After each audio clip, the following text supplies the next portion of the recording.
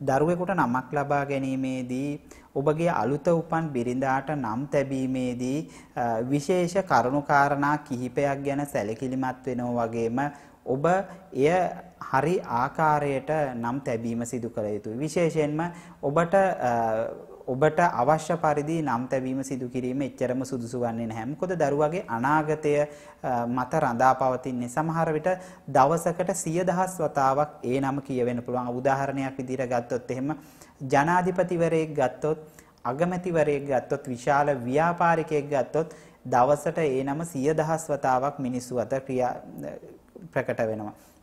අපි දන්නවා බුදුන් වහන්සේට නම් තබන අවස්ථාවේදී එය අපේ බුදුදහමට අනුව බොහෝ කරුණු කාරණා කිහිපයක් විශේෂයෙන් සිදුවත් කුමාරයාට නම් තබන අවස්ථාවේදී කරුණු කාරණා කිහිපයක් ගැන සැලකිලිමත් වුණා. ඉතින් ඒ වගේම තමයි ඒ ඒ මත යම් ආගමක් ප්‍රචලිත කිරීමට උන්වහන්සේට ශක්තිය හා ධෛර්යය ලැබුණා. මොකද ඒ නම මත බොහෝ වැදගත් කරුණු කාරණා කිහිපයක්ම වගේම බොහෝ සමාජය තුළ බොහෝ ආශිර්වාදයන් ලබා ගැනීමේ ශක්තියක් පවතිනවා. ඉතින් ඒ නිසා ඔබටත් නමක් ලබා ගැනීමේදී ඔබ නිවැරදි ආකාරයට නමක් තැබීම තුළින් දරුවාගේ අනාගතයට එය යහපතක් වෙන බව තමයි මගේ හැඟීම වෙන්නේ.